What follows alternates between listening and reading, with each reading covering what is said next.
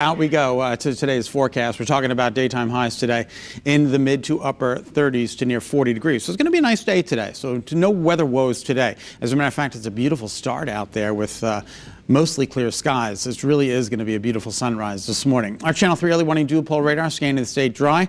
We have two storm systems that are getting ready to roll into the state. One is the weaker of the two. That comes in tomorrow night through Friday.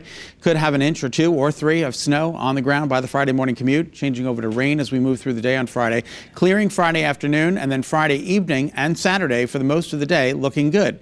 Then the second storm rolls in Saturday night, and that is a more substantial system. Snow starts Saturday night and it continues through early Sunday morning. There could be a heavy burst of snow from Saturday night through early Sunday morning, then changing over to a period of ice an icy mix through the morning on Sunday until the late morning, and then everybody goes over to rain Sunday during the day. And then as colder air starts wrapping in, the result of the storm system making an exit late in the day on Sunday, it could end as a period of snow. And then I'll show you all that coming up in just a second. In the meantime, mostly clear and cold this morning. Friday storm comes in the morning, Thursday night through Friday. That's the first storm. The second storm comes in Saturday night through Sunday. So a one-two punch. As we move through the day today, the temperatures will climb nicely into the upper 30s for inland Connecticut and possibly near 40, 41 degrees for the shoreline under partly to mostly sunny skies. Look at that, 39 degrees. That's above average by about five to six degrees, which is good news. All right, let's check in with our temperatures right now. 14 in Willimantic. The numbers are all over the place. You go to Willimantic, it's 14, but you head to Norwich, it's 24. 16 in Meriden, yet 24 uh, Brainard. So again, pick your town, pick your temperature. Everybody needs the winter coat out there, though, this morning. And the winds are fairly calm, so not a whole lot of wind chill, but even a gentle breeze will make it feel a little bit cooler out there. It feels like it's in the mid to upper teens and low 20s. There's a bright golden haze on the meadow. Awesome. Isn't that pretty spectacular. That is Spectacular, just that's right. absolutely spec. Isn't it beautiful? Yeah, it's just amazing. Look at that, New London, equally as nice there. Just really, really beautiful iCam shots. Our regional radar, dry, satellite and radar, just a little so uh, whiff of clouds out there, just making for a beautiful sunrise.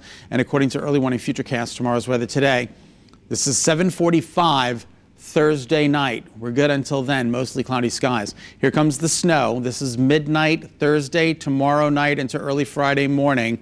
And then that snow continues, changing over to rain. This is Friday morning at 7 a.m., so a mix of precipitation for Friday morning's commute. Then that leaves us, and then we need to concentrate on storm number two. So once again, 7 p.m. on Thursday, this is the European model. Snow breaks out for the Friday morning commute, changing over to rain. That system makes an exit, and then here comes storm number two. Saturday, we're good during the day. This is very early Sunday morning. Saturday night into Sunday morning, snow, which could be moderate to heavy, changing over to ice, and then plain rain as the day wears on on Sunday. Now, this is Sunday afternoon around noon. There could be heavy rain in the state, which could lead to localized flooding. And then the storm system makes an exit, pulls colder air back in, and we are dealing with snow at the uh, tail end of the system as well. So it's a, it's a kind of a crazy storm. All right, highs today in the uh, upper 30s to near 40.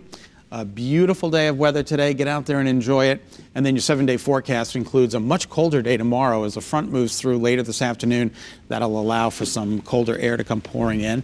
That sets the stage for that uh, little bit of snow Thursday night through Friday morning, changing over to rain. Saturday, we get a break. And then Saturday night through Sunday, that's when the precipitory mess begins. Monday, for Martin Luther King Jr. Day, 20 degrees with wind chill values below zero. It's going to be a windy and a very cold day. Tuesday, a high of only 24, also breezy and very, very cold.